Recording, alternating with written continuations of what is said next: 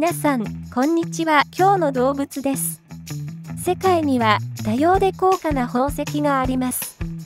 宝石とは土から鉱物を掘り出して鉱物をキラキラ加工したものだと知っていますが、動物の中で体から宝石を作れる動物もいる。まさに非常に強力な神経毒を持つコブラだ。コブラは一度噛むと大量の毒を標的に注入するが、生体像も4時間以内に殺すことができ、人の場合20人から100人程度は殺せる量だ。コブラの中でスピッティングコブラの場合は相手の目を狙って毒液を発射して攻撃するが目に遭うと早く治療しないと失明するほどコブラの毒は恐ろしい。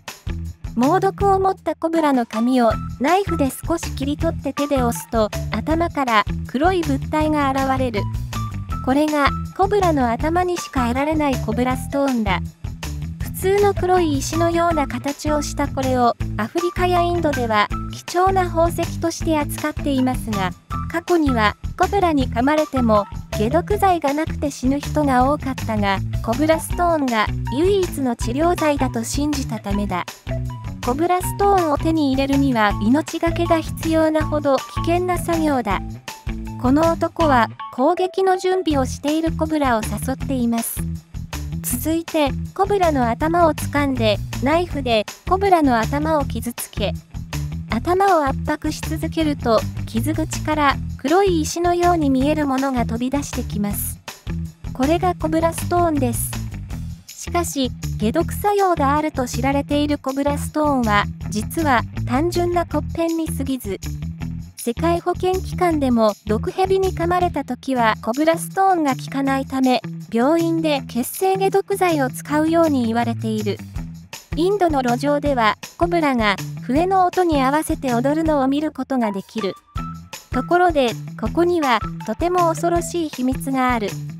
コブラは地面に穴を掘って生活する動物なので聴覚が退化して音が聞こえないからだ。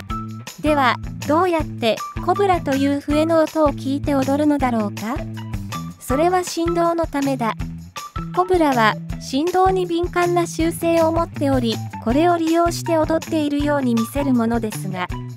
ヘビ氏は笛を演奏し、コブラが入っているカゴに触ったり、足で地面を踏んで、コブラに振動を感じさせる。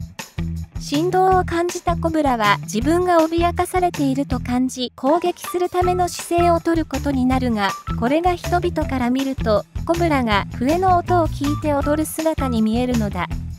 公園に使われるコブラはもちろん毒牙を除去するが毒牙がなくなったコブラたちが絶滅の危機に瀕するとインド政府ではコブラを野生動物保護協定で保護している